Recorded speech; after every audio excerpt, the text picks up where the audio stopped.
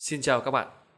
Ngày 3 tháng 11 năm 2022 vừa qua, tập đoàn sản xuất đồ chơi lắp ráp Lego của Đan Mạch đã khởi công xây dựng nhà máy tại khu công nghiệp V3, tỉnh Bình Dương trên diện tích 44 hecta với tổng mức đầu tư hơn 1,3 tỷ USD. Đây là nhà máy đầu tiên của Lego được thiết kế trên cơ sở Trung Hòa Carbon. Ngoài các tấm pin năng lượng mặt trời trên mái, nhà máy còn có trang trại điện mặt trời được xây dựng trên khu đất lân cận đáp ứng tổng nhu cầu sử dụng năng lượng hàng năm. Đại diện của Lego cho biết một trong những lý do thuyết phục họ chọn Việt Nam là những cam kết của Việt Nam tại Công ước khung của Liên Hợp Quốc về biến đổi khí hậu COP26. Sự kiện nhà máy Trung Hòa Carbon đầu tiên của tập đoàn Lego Đan Mạch tại Bình Dương, Việt Nam là minh chứng rõ ràng cho sự ủng hộ của nhà đầu tư đối với cam kết mạnh mẽ của Việt Nam tại hội nghị lần thứ 26. Vậy thì các bạn để ý cụm từ Trung Hòa Carbon là gì? Tại sao lại quan trọng đối với Việt Nam? Cam kết của Việt Nam tại COP26 và giải pháp cụ thể trong tương lai là gì? Cùng mình tìm hiểu qua clip này nhé. Đầu tiên, điểm lại một chút khái niệm, có rất nhiều khí gây hiệu ứng nhà kính gồm CO2, CH4, CFC,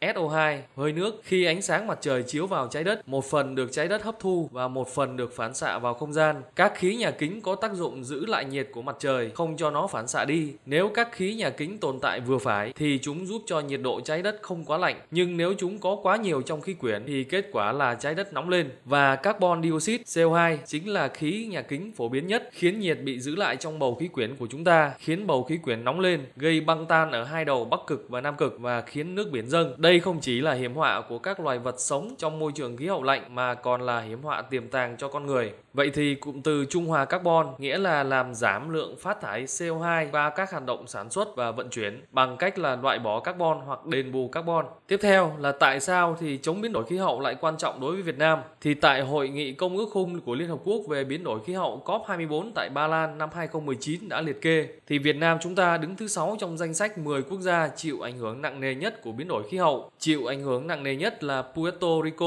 tiếp đó là Sri Lanka, Dominica. Các quốc gia lần lượt còn lại nằm trong danh sách này là Nepal, Peru, Việt Nam, Madagascar, Sierra Leone, Bangladesh và Thái Lan là quốc gia có đường bờ biển dài 3.260 km. Biến đổi khí hậu gây nước biển dâng là ảnh hưởng nghiêm trọng đối với Việt Nam. Theo khuyến cáo của Ủy ban Liên Chính phủ về biến đổi khí hậu, khi mực nước biển dâng lên 1 mét, diện tích đất bị mất của Việt Nam sẽ lên đến 40.000 km vuông, chiếm 12,1% tổng diện tích đất hiện có, kéo theo hệ quả là 17,1 triệu người sẽ mất nơi sinh sống, chiếm 23,1% dân số. Nước biển dâng cũng sẽ khiến cho đồng bằng sông Cửu Long, một trong những vựa lúa lớn nhất của cả nước và khu vực sẽ bị thiệt hại hoàn toàn. Điều này đe dọa an ninh lương thực không chỉ của Việt Nam mà cả cộng đồng quốc tế, vì Việt Nam là một trong năm nước xuất khẩu gạo lớn nhất trên thế giới. Đối với đồng bằng sông Cửu Long là vùng chịu tác tác động nặng nề nhất của biến đổi khí hậu. Theo tính toán của kịch bản biến đổi khí hậu đến cuối thế kỷ 21, nhiệt độ tăng khoảng 3,4 độ C, mực nước biển tăng lên 1 mét thì sẽ có 40% diện tích đất bị ngập vĩnh viễn, khoảng 10% dân số bị ảnh hưởng trực tiếp do mất đất. Thêm vào đó, biến đổi khí hậu diễn ra ở đồng bằng sông Cửu Long sẽ kéo theo hạn hán, xâm nhập mặn, sạt lở và nhiều hệ lụy đi kèm như đã từng diễn ra ở những năm gần đây. Đối với vùng ven biển, nhất là khu vực ven biển Bắc Trung Bộ, Nam Trung Bộ và Đông Nam Bộ, ảnh hưởng của biến đổi khí hậu lớn nhất là bão, áp thấp nhiệt đới. Đối với khu vực ven biển miền Trung thì hạn hán, lũ lụt, sạt lở đất, thoái hóa đất diễn ra mạnh mẽ hơn. Những vùng ven biển thì còn chịu ảnh hưởng của xâm nhập mặn.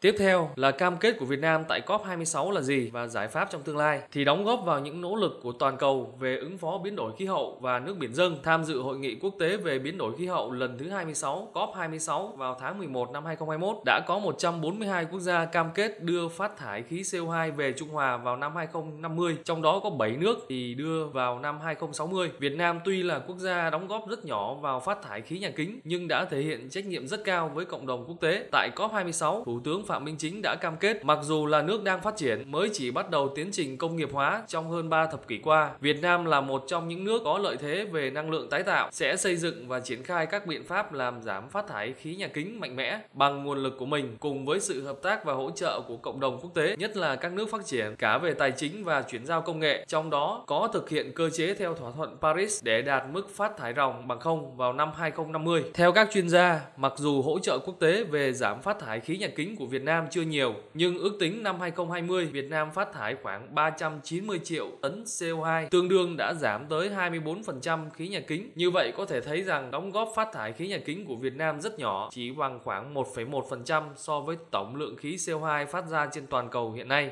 Và thông thường thì có 4 ngành và lĩnh vực qua các hoạt động của chúng thì tạo ra phát thải khí nhà kính. Thứ nhất, đó là năng lượng, bao gồm cả giao thông vận tải. Thứ hai là nông nghiệp. Thứ ba là quá trình công nghiệp và thứ tư là chất thải. Đồng thời, có một lĩnh vực đang hấp thụ dòng khí CO2 đó là sử dụng đất, thay đổi sử dụng đất và lâm nghiệp. Thế về giải pháp thì có những giải pháp như sau. Thứ nhất, về vĩ mô, chiến lược và quy hoạch quốc gia cần hướng tới nền kinh tế phát thải thấp khí carbon, trong đó tăng cường các ngành nghề công nghệ cao, sử dụng ít năng lượng và hiệu quả, giảm quy mô các sản phẩm dùng năng lượng nhưng tạo ra giá trị GDP thấp như là thép, xi măng để cho mục đích xuất khẩu, khuyến khích và tiến tới quy định bắt buộc về sử dụng công nghệ tiết kiệm năng lượng trong mọi lĩnh vực. Thứ hai là khuyến khích và đầu tư mạnh vào giao thông công cộng, các phương tiện giao thông điện, tàu điện, cao tốc Bắc Nam nhằm sử dụng năng lượng dư thừa được lưu trữ từ nguồn điện gió, điện mặt trời ở thời điểm phụ tải thấp thay thế nhiên liệu bằng xăng sinh học E5 chuyển dần sang E10, ban hành định mức tiết kiệm tiêu thụ nhiên liệu trên mỗi km cho các phương tiện giao thông. Thứ ba là từ 2030 đến 2035 thì cần thiết phải giảm các nguồn năng lượng hóa thạch, tìm nguồn thay thế bằng các loại năng lượng tự nhiên và năng lượng xanh thông qua các công cụ kinh tế như thuế carbon, thị trường carbon, tăng cường tối đa các nguồn năng lượng tự nhiên, nhất là khai thác tiềm năng của điện gió ngoài khơi. Tư là cần nắm bắt tối đa cơ hội về chuyển giao công nghệ nghệ và hỗ trợ tài chính quốc tế để có thể áp dụng dần chuỗi công nghệ không phát thải khí nhà kính như hệ thống lưu trữ điện năng sử dụng hydro xanh cho các phương tiện giao thông và làm nhiên liệu cho các các